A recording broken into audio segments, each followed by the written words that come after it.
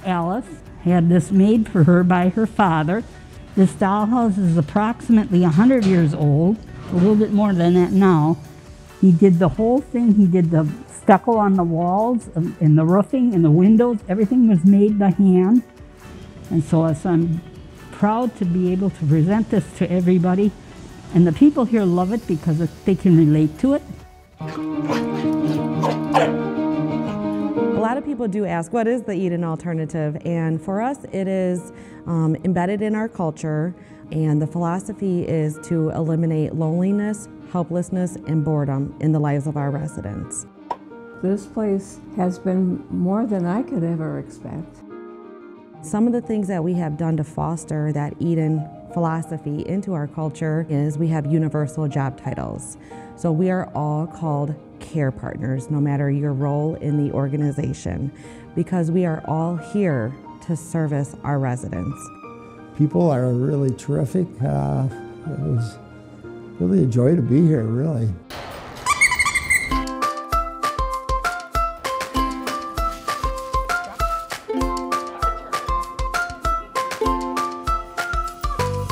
She's the sweetest little thing. She really is.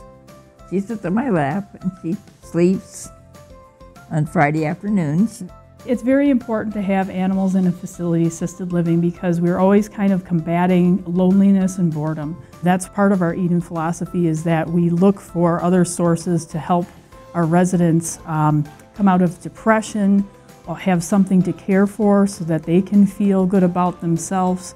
So it's very important to have children visits, animal visits, plants, things that the residents can take care of. Welcome to Happy Father's Day. As I remember when my father taught me how to do carpentry. Marin remembered when they went on vacation and he brought back special rocks for me and made me shut up during the Packer games. Debbie remembers when she helped her dad as he made homemade wine. Carol says, I remember when he told me not to fight, but to make friends.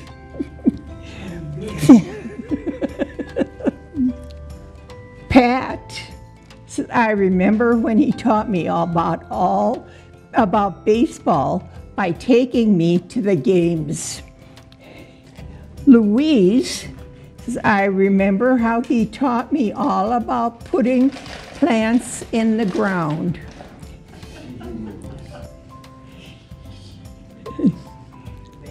yeah, just enough. Mary Ann says, I remember how he taught me about fishing. Oh, she's getting vicious. Jan says, I remember he said not to play in the mud.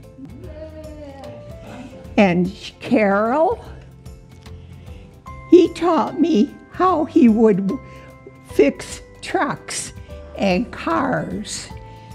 Happy Father's Day to all the fathers around the world. We love you.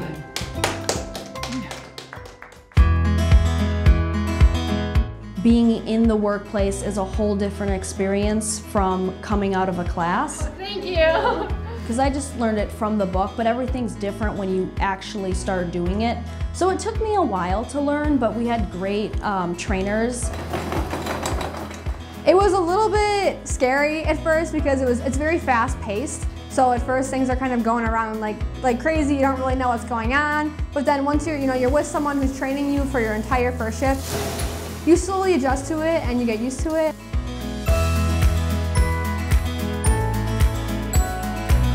So many of these experiences that they will get at Linden Grove will help them not only in college, but for the remainder of their career in healthcare. I want to go into trauma nursing and working at Linden Grove is like a great opportunity for that. I really liked this so far and I think it's a really good experience to have and I think this is a good place to start out if you want to you know, keep building onto your future.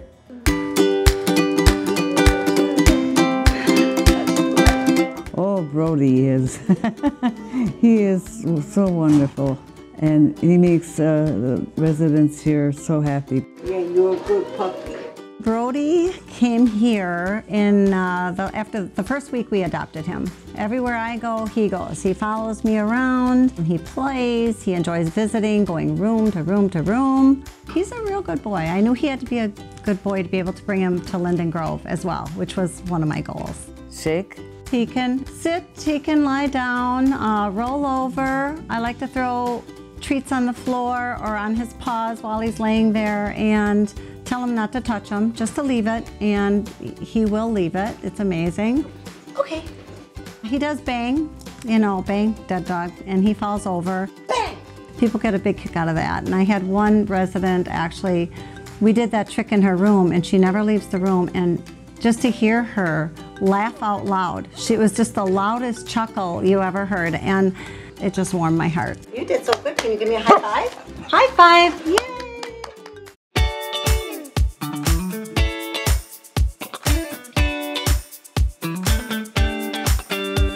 The first time I got involved with this, but I enjoy it. I love gardening. I always did.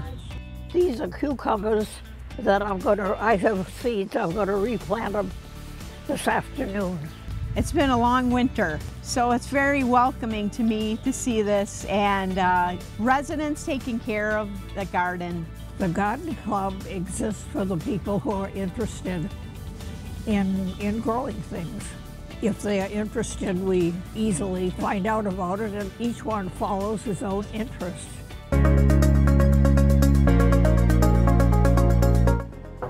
Personally, it's the gratification and just the feeling of being appreciated and knowing that you're doing something for someone or a family member or like just a family in general. Hi, John.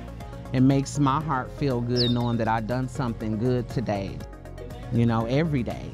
See you later.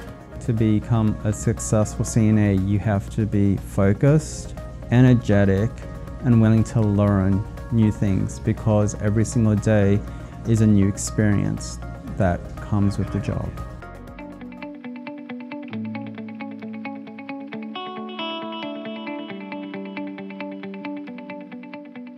It doesn't just affect the individual, it affects the whole family, the whole support structure. It doesn't have any discrimination on who it affects, and for that reason, it brings us all together. Team Linden Grove! With our industry, we see Alzheimer's so much, uh, not just in our clientele, but also in our own families. So the Alzheimer's Association is something that really supports both sides of our lives. And so it's really important to a lot of our workers that also come out here on Saturday on their own time because they want to participate and it matters to them as well.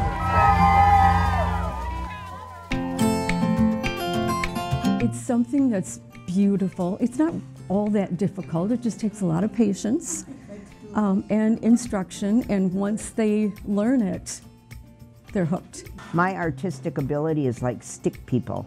So this makes it very easy. And then when you pull the tape off, you can see how pretty it looks. When you're done, there is something to be proud of. I get the joy of seeing people successful when they don't think they can be. Everybody can do it, and everybody ends up with a beautiful product that's just unique to them. All right, are we ready? 143? Should we go see? Hello, did somebody say they wanted to see Rex today? It's amazing to see the residents and the change in them when they see him coming down the hall and just how happy they are to see him. He is a gentle soul and spirit and he's just wonderful to have here. They love him. He just is a very intuitive dog. He just seems to know when somebody's vulnerable.